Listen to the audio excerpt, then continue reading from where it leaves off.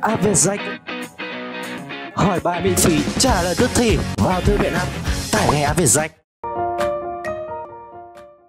Chào mừng các đã đến với bài học. Cách ghi chép để nắm chắc nội dung bài học của tác giả Du Gia Huy Cấu trúc bài học của chúng ta sẽ gồm có 5 phần. Thứ nhất là phần khởi động Thứ hai là phần đọc và tìm hiểu chung Phần 3 đó chính là trải nghiệm cùng văn bản. Phần 4, cô sẽ cùng chúng ta nhắc lại một số kiến thức liên quan đến nội dung và nghệ thuật trong phần tổng kết. Và cuối cùng là phần 5, các em sẽ cùng cô đến với phần củng cố và mở rộng.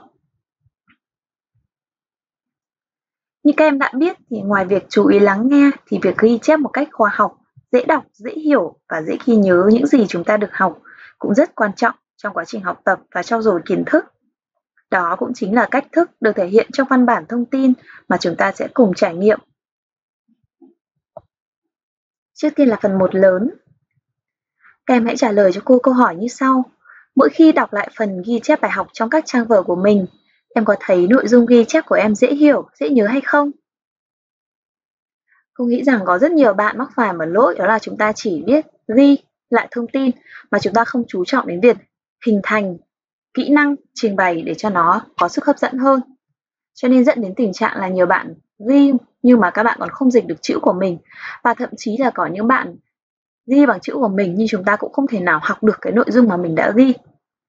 Vậy thì chúng ta cũng cần chú ý là ghi bài cũng cần phải có ghi, kỹ năng để chúng ta có thể tạo ra một cái phần ghi nó hiệu quả.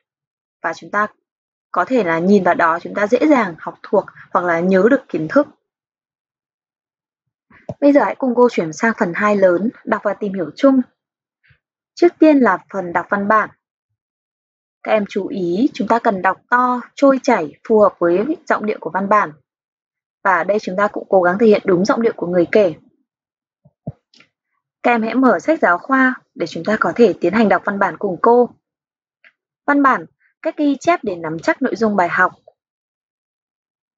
Ghi chép và chỉnh sửa ghi chép là một quá trình học hỏi kiến thức, biến kiến thức trong sách vở thành kiến thức của bản thân Quá trình ghi chép không chỉ thể hiện khả năng tìm hiểu vấn đề mà còn rèn luyện tư duy.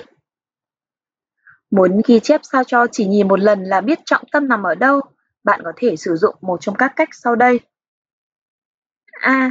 Lập ra quy tắc ghi chép, chia rõ các phần. Một là phân vùng. Dùng phần lề trái trong chỗ được phân vùng, cũng chính là phần A trong ảnh dưới đây để ghi lại sơ lược trọng tâm nội dung bài học.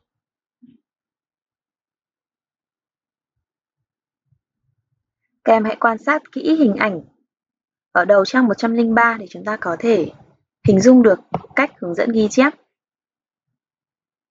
Hai đó là chia theo màu sắc, dùng bút màu để ghi chép những nội dung có ý nghĩa khác nhau. Như vậy, chỉ cần nhìn một lần là biết trọng tâm nằm ở đâu. Ví dụ dùng bút đen để ghi kiến thức bên trên bảng, bút xanh để ghi lại lời giảng của thầy cô giáo, bút đỏ để ghi trọng tâm mà thầy cô giáo nhấn mạnh. 3 là khoanh vùng trọng tâm. Dù chỉnh sửa trong giờ hay sau khi tan học, nếu bạn thấy nội dung nào quan trọng, có thể dùng bút màu gạch chân hoặc dùng các ký hiệu đặc biệt như mở ngoặc vân vân để đánh dấu. Sau khi đã hiểu rõ mọi kiến thức trọng tâm trong vở ghi, bạn lại tiếp tục khoanh vùng một lần nữa để làm nổi bật phần trọng tâm nhất của bài học. Tự nhắc bản thân phải nhớ kỹ. Như vậy, kể cả khi bạn không đủ thời gian chuẩn bị hoặc khó có thể nhớ hết mọi trọng tâm bài học, thì ít nhất cũng biết chắc được rằng phần nào là phần bắt buộc phải nhớ, không được phép quên.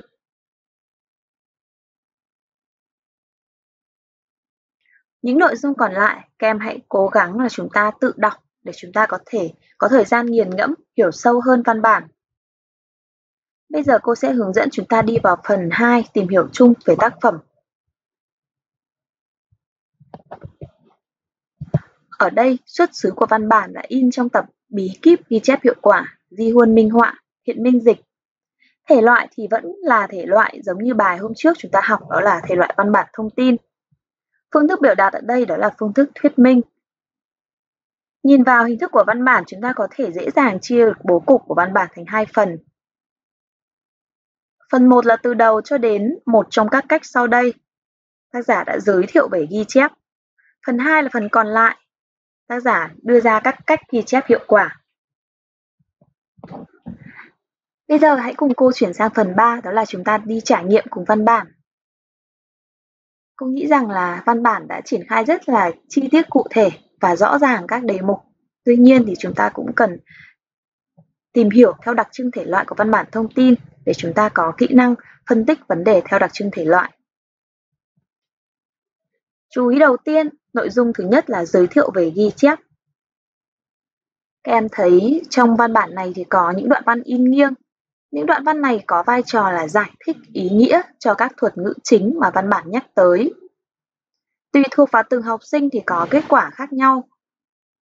Chúng ta thấy ở đây văn bản có các bước hướng dẫn và các đề mục rõ ràng, đặc biệt là còn kèm theo hình ảnh minh họa cụ thể. Và các em hãy nhớ chúng ta hãy vận dụng cái kỹ năng này trong bài nói của mình. Nói không chỉ đơn thuần là chúng ta trình bày cái mà chúng ta đã viết ra mà chúng ta còn có thể thêm những hình ảnh minh họa vào. Như vậy thì bài nói cũng sẽ có hiệu quả và giá trị hơn rất nhiều. Trong văn bản này còn giới thiệu những mẹo đọc liên quan đến hoạt động học học tập. Và văn bản cung cấp cho chúng ta thông tin bổ ích, trình bày một cách ngắn gọn dễ hiểu. Cô nghĩ đó là những tiêu chí rất quan trọng để chúng ta có thể yêu thích hơn nội dung học, cũng như là yêu thích cái phần kiến thức này. Tiếp theo chúng ta hãy chú cho cô về mục đích của văn bản. Văn bản đã hướng dẫn học sinh cách ghi chép khoa học để nắm bắt thông tin văn bản nhanh nhất thông tin cơ bản của văn bản trên chúng ta có thể thấy là hướng dẫn cách ghi chép thông tin nhanh và nắm được thông tin hiệu quả. Tiếp tục là nhận xét về mối quan hệ giữa đặc điểm với mục đích viết của văn bản. Chúng ta thấy đặc điểm văn bản ở đây là rất rõ ràng, dễ hiểu, ngắn gọn, được chia ra làm nhiều đề mục và có cả hình ảnh minh họa nữa. Mục đích viết văn bản đó là hướng dẫn học sinh cách ghi chép khoa học để nắm bắt thông tin văn bản nhanh nhất. Các em có thể thấy ở đây đặc điểm trình bày của văn bản và mục đích thì có sự gần gũi, phối hợp chặt chẽ với nhau và đó cũng chính là một đặc trưng rất tiêu biểu trong văn bản thông tin. Và chúng ta thấy đây cũng chính là điểm gặp gỡ giữa văn bản ngày hôm nay chúng ta học và văn bản hôm trước. Đều có đặc điểm chung đó là có sự kết hợp chặt chẽ giữa việc trình bày và việc nêu ra mục đích của văn bản. Chuyển sang tiếp nội dung thứ hai là các cách ghi chép hiệu quả. Các em hãy mở lại sách, chúng ta nhìn vào cho cô hình minh họa trong mục A. Qua hình này thì có thể đã giúp cho người đọc hình dung một cách cụ thể hơn, rõ ràng hơn và giúp phần lời được thể hiện hiệu quả. Đồng thời, ở đây chúng ta thấy hình minh họa này nó còn có tác dụng là làm cho thông tin sáng rõ, dễ hiểu hơn từ những mẹo này thì học sinh có thể nắm bắt nhanh bài đọc và tiếp thu cách ghi chép thông tin hiệu quả nhất. Cách ghi chép ở đây còn có tác dụng là nêu những nội dung chính trong việc thể hiện thông tin cơ bản của văn bản. Hai nội dung vừa rồi thì cũng đã khép lại phần 3 lớn trải nghiệm cùng văn bản. Bây giờ hãy cùng cô chuyển sang phần 4 tổng kết. Trước tiên là chúng ta cùng liệt kê lại những đặc sắc về mặt nghệ thuật có thể thấy bố cục văn bản rất rõ ràng, các đề mục kết hợp với nhau, hiệu quả, rành mạch và dễ hiểu. Phần lý lẽ và lập luận thì logic và có sức thuyết phục cao. Hai là về nội dung của văn bản. Ở đây văn bản cách ghi chép để nắm chắc nội dung bài học đã cung cấp cho chúng ta những cách ghi chép hiệu quả, giúp chúng ta có thể nhìn vào đó hiểu bài hơn. Chuyển sang phần 5 củng cố mở rộng. Cô có một Câu hỏi dành cho các em ở phần này sau khi mà chúng ta đã tìm hiểu văn bản. Qua giờ học thì văn bản đã mang lại những điều gì có ích cho việc ghi chép trong học tập của em? Chúng ta sẽ không khó để trả lời câu hỏi này, đúng không nào? Bởi vì chúng ta vừa tìm hiểu văn bản và chúng ta cũng có trong tay sách giáo khoa. Chúng ta hãy cố gắng vận dụng liên hệ xem là văn bản đem lại cho mình những cái lợi ích hoặc là những cái bài học gì để ứng dụng vào việc ghi chép cô gợi ý một số định hướng như sau. Văn bản đã mang lại nhiều điều có ích cho việc ghi chép trong học tập của em như là cách lập ra quy tắc ghi chép, cách tìm nội dung chính, cách phân tích và đối chiếu. Đây đều là những điều cần thiết cho việc ghi chép giúp em ghi chép khoa học và dễ hiểu hơn.